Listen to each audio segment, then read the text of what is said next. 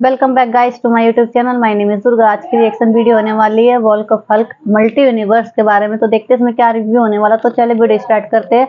लेकिन उससे पहले आप लोग मेरे चैनल पे नहीं हो तो सब्सक्राइब लाइक शेयर करना मत भूलना।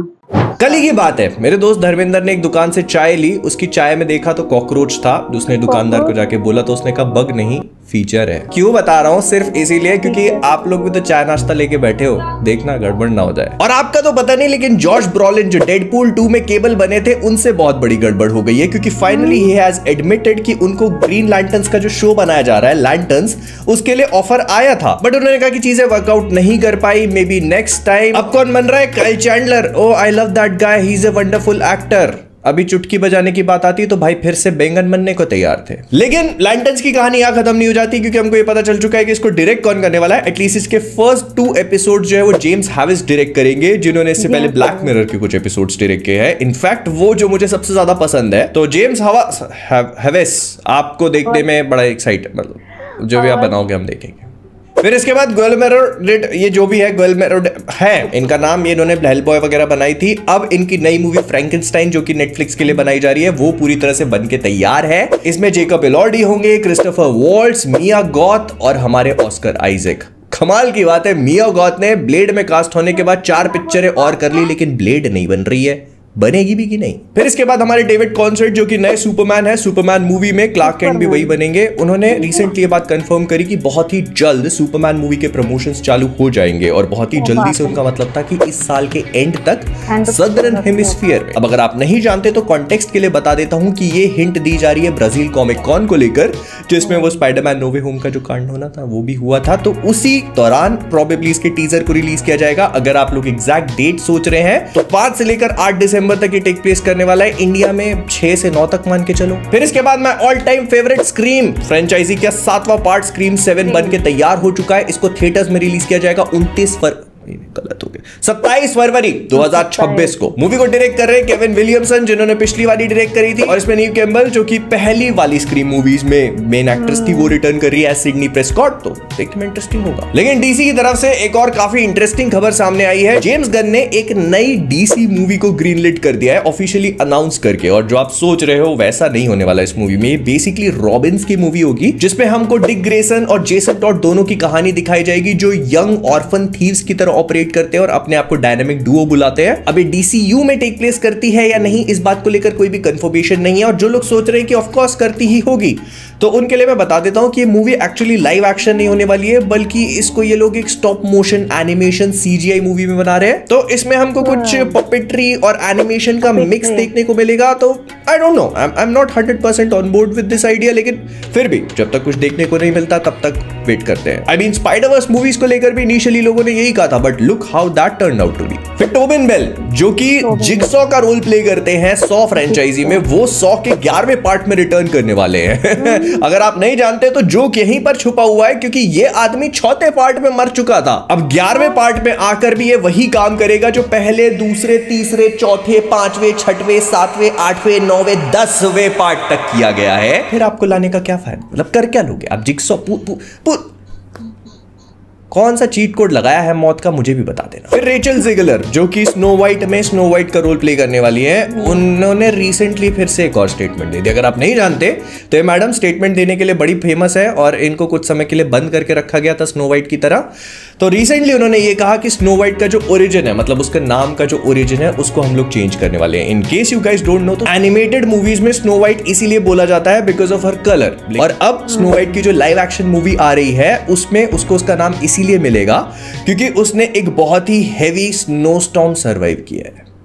किसने खुला छोड़ दिया? पहले तो ये बता दो इनको। फिर टेरिफायर का थर्ड पार्ट जो दरिंदों के लिए खास तौर पे बना हुआ है उसकी स्क्रीनिंग जब करी गई तो उसमें ऐसा बोला जा रहा है कि एक इंसान तो बीमार होकर वहीं उल्टियाँ करने लगा और दूसरे नौ दस लोग जो है वो उसके शुरू के दस पंद्रह मिनट देखकर बाहर निकल गए। फिर आप आप हाँ आप ही मार्वल डीसी और बॉयज़ जैसी सुपर हीरो फ्रेंचाइजी के लिए काम कर सकते हो। इनफैक्ट और भी पॉप कल्चर मीडिया में जो बड़ी बड़ी चीज़ें हैं, क्योंकि इनके स्टूडियोज ने डिसाइड किया है कि ये लोग सुपर फैंस के ग्रुप को असेंबल करेंगे और उनसे ओपिनियंस लेने की कोशिश करेंगे। जिस हिसाब से अगर मतलब कुछ कॉमिक एक्यूरेट चीज़ नहीं है या लोगों को नहीं पसंद आ रहा है तो वो लोग उसको कॉमिक एक्यूरेट या लोअर एक्यूरेट बना सकेंगे।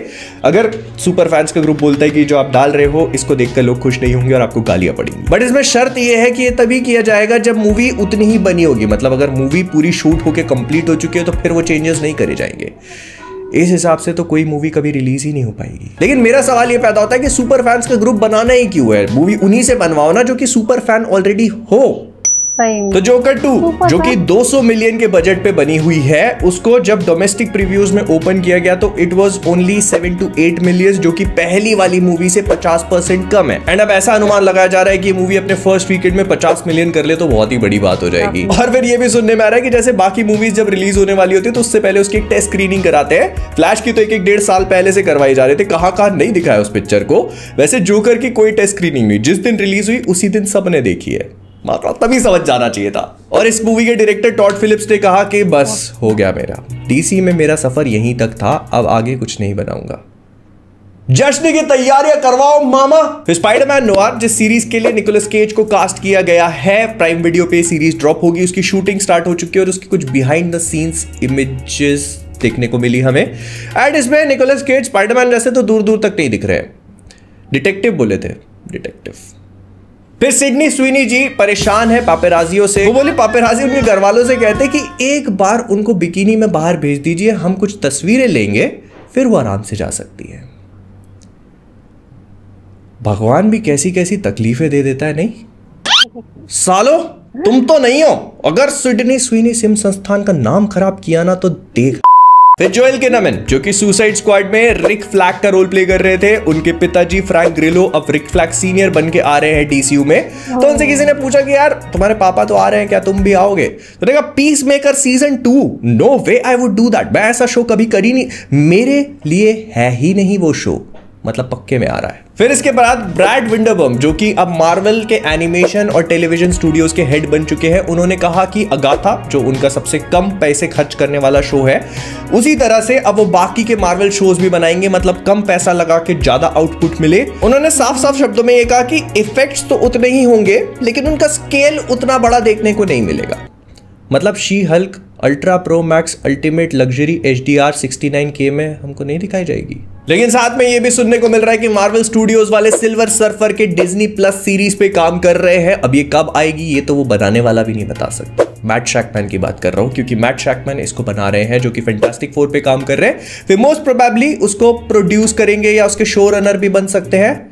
वंडा विजन जैसे उन्होंने करी थी वैसे ये भी। अच्छा अच्छा बड़े फिर इसके बाद ये भी सुनने को मिला कि मार्वल स्टूडियोज एक सीरीज़ पे काम कर रहा है जो कि बिली के भाई टॉमी को ढूँढने में निकलेगी। और ये शो वंडा विजन और अगाथा का फॉलो अप होगा मतलब उसी का थर्ड पार्ट समझ सकते हो। ऐसे तो चालीस पिक्चर बच्चों पे बना दोगे। हमारे बच्चे मतलब ब्लेड का क्या होगा फिर? फिर डीसी को लेकर और भी खबरें मिलनी शुरू हो चुकी है। Supergirl woman of tomorrow जिसको जेम्स गन ने एक साईफाई ऐसे खतरनाक एडवेंचर टाइप की पिक्चर बोल के बताया है। वो 2026 में रिलीज़ होगी और सुपरमैन की कहानी जहाँ पे खत्म होती है काइंड ऑफ़ वहीं से पिकअप करेगी ऐसा बोला जा रहा है। I don't know how that is going to happen क्योंकि सुपरमैन तो अर्थ पे है और कारा जो है वो किसी एक टूटते हुए एस्ट्रॉइड पे फंसी रहती है जब ये कहानी टेक प्लेस करती है। कुछ इसी टाइप का है। और ये कंप्लीट करने के बाद, इस मूवी को लिखने वाली नोगेरा जी जो है वो टीन टाइटन्स की मूवी पे काम करना शुरू करेगी फिर एंड्रू गारफील्ड से, जहाँ जाते बंदे से एक तो पूछ लेते हैं कि भाई स्पाइडरमैन बनोगे कि नहीं? बनोगे तो कब बनोगे। और वो बंदा भी मना नहीं कर रहा है। जब भी पूछा जा रहा है तो बोल देता है yes definitely definitely the Boys played मेरा मतलब है कि जब भी होगा तो मैं करूँगा। अगर कहानी अच्छी होगी तो definitely I will return to the role I mean I love the character and the joy that he brings in मतलब कर रहे हो आ रहे हो। सीधे बता दिया करो ना बस ये बताओ कब कब? आई वॉन्ट टू नो कब। फिर अब ऐसा सुनने में आ रहा है कि मार्वल जो है, वो अपने ब्रांड को थोड़ा सा चेंज करने की कोशिश कर रहा है। जो मूवीज़ अभी तक वो 12 प्लस के लिए बनाते हैं, अब वो 14 से 18 प्लस के लिए बनाई जाएगी। और इसका मतलब ये है कि जो म्यूटेंट सागा होगी आने वाली, उसमें हमको और भी ज़्यादा gruesome gritty R rated movies देखने को मिल सकती है। और इसका रीजन बहुत सिंपल है। मार्वल अब उस ऑडियंस को टारगेट करेगा जो मार्वल देखते देखते बड़े हुए हैं, जिन्होंने अपना बचपन मार्वल के साथ बड़ा किया है। तो इसीलिए अब अठारह मार्वल को आए हुए सोलह साल हो गए। अठारह साल से बड़ों के लेवल मार्वल के साथ बड़े होने वाले बहुत बड़े हो चुके हैं। आप थोड़ा सा दायरा बड़ा करो अपना। फिर Captain America Brave New World, जो कि फरवरी में रिलीज़ होगी, उसको लेकर काफ़ी सारी इंफॉर्मेशन मिलना स्टार्ट हो चुकी है। सबसे पहले तो ये कि इसमें अपियर होने वाली सेबरा का कैरेक्टर थोड़ा सा ऑल्टर किया गया है। मतलब कॉमिक बुक्स में वो एक इसराइली एजेंट होती है तो यहाँ पर उसको बैकलैश की वजह से चेंज करके अब ऐसा बताया जाएगा कि वो एक ब्लैक विडो है। पहले ये ओरिजिन था उसका। पहले वो सैम को बताती कि वो एक म्यूटेंट है, लेकिन अब सब चेंज हो गया। Now she is just Black Widow nothing else फिर गोस्ट में अपियर होने वाले लोगन किम नाम के एक्टर को अमीडस चो के रोल में कास्ट कर लिया गया and if you guys don't know कि अमीडस चो कौन है तो बस इतना कहूँगा कि ये भी स्मैश करने की शक्ति रखता है।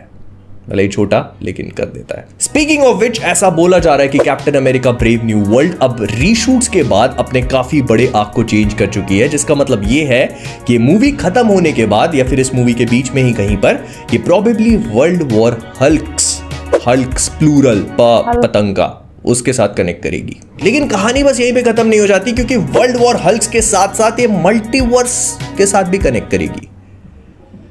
बस यही देखना बाकी रह गया था।